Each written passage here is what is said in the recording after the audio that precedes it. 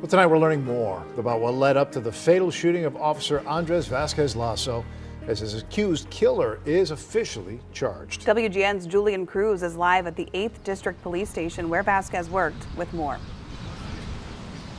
Well, Jen and Ray, the 18 year old suspect Stephen Montano, shot in the mouth by the mortally wounded Chicago police officer Andrés Vásquez Lasso, who suffered three bullet wounds allegedly inflicted by Montano at close range.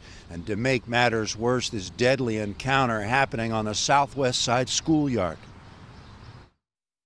There were civilians, including multiple children, on that playground who took cover under a slide. Assistant Cook County State's Attorney Ann McCord describing the chaotic scene, adults and children with little time to react at Sawyer Elementary Wednesday about 4:45 in the afternoon. Fortunately, no injuries reported by Chicago Public Schools. But the city suffering a terrible loss as the body of Officer Andrés Vásquez Lasso is transported from the medical examiner to the funeral home. The victim exited the squad car and gave chase to the defendant on foot. Cook County prosecutors describing how Officer Andrés Vásquez Lasso pursued accused gunman Stephen Montano Wednesday evening. The victim gave multiple verbal commands for the defendant to stop running.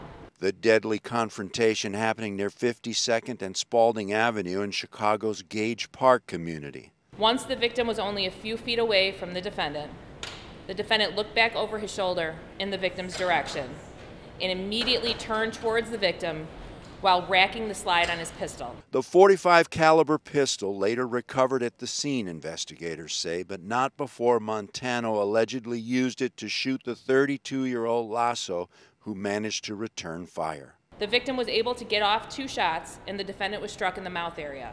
But even then the critically wounded Montano according to responding officers trying to get away.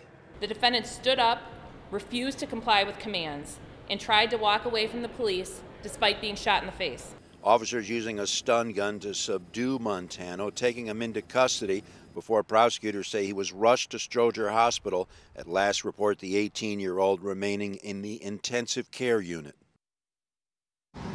This deadly encounter happening as a result of a domestic dispute. Montano's 37 year old girlfriend, according to prosecutors, fearing for her life and calling 911. At the 8th Police District, Julian Cruz, WGN News. And Julian, we now have details about the visitation and funeral for the officer. Visitation will take place Wednesday, March 8th from 3 until 8 p.m. at Blake Lamb Funeral Home in Oak Lawn. A mass of Christian burial will begin Thursday at 10 in the morning at St. Rita of Cascia Shrine Chapel. We'll have this information posted on our website, WGNTV.com.